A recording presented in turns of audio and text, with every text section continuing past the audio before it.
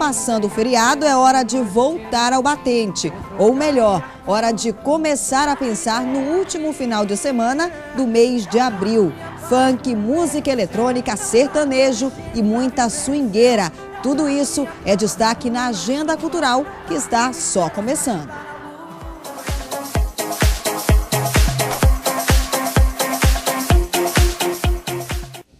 Profissão de risco, um cara valentão com má sorte crônica é contratado por um lendário chefão do crime. Na trama, ele precisa ganhar espaço entre uma série de outros personagens obscuros e também foram convocados pelo mafioso para uma reunião em um motel antigo.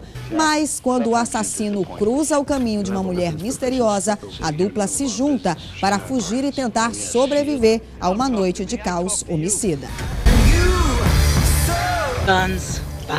Em segunda temporada, Inatividade Paranormal volta às telonas para contar a história de um homem que, após perder a namorada em um acidente de carro, se apaixona por uma mãe solteira e de dois filhos.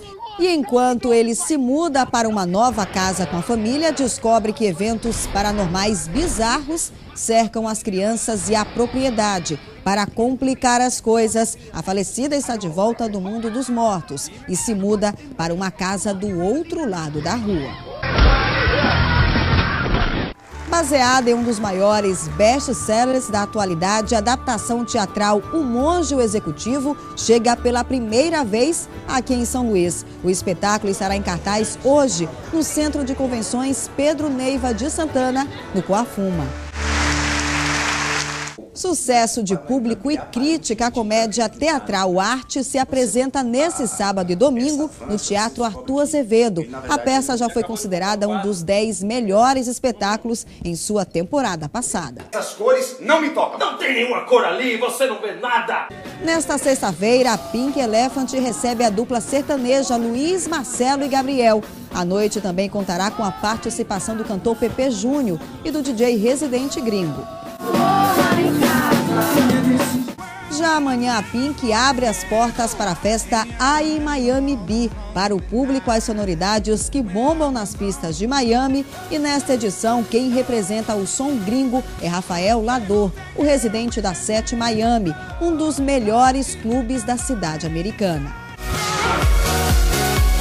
Ela está de volta e de cara nova. É a festa da fuleiragem, que vem com muito glamour, trazendo a cantora Nick Valentini, dona de grandes hits, que promete fazer o público sair do chão.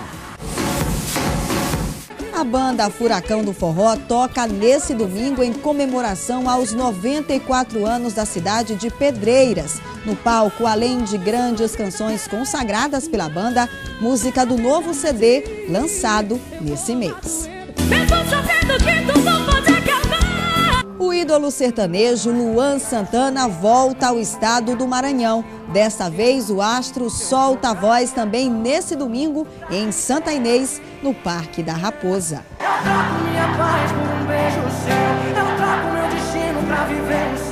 Aposto que com todas essas dicas você já está com o final de semana garantido. Por isso, divirta-se e lembre-se: se beber, não dirija. Boa diversão e até a próxima!